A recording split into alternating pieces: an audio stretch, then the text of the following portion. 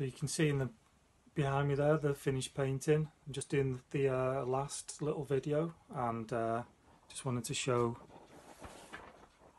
how the painting's looking completed. I've just finished the background, quite a tricky little painting to do in the background there with the uh, Roman tour school children following the Roman soldier. Um, um, there's Pete with his Chester Chronicle newspaper and his dog. And um, yeah, I've kept it quite loose, quite sketchy, which is just how I like it to look. I mean, I could carry on working into this if I wanted to, um, but I just like it looking a bit more naive. Um, I don't want too much detail, I just want it to be quite loose and sketchy. Um, it's just how I work, and uh, hopefully you like it too. So that's that. Thanks.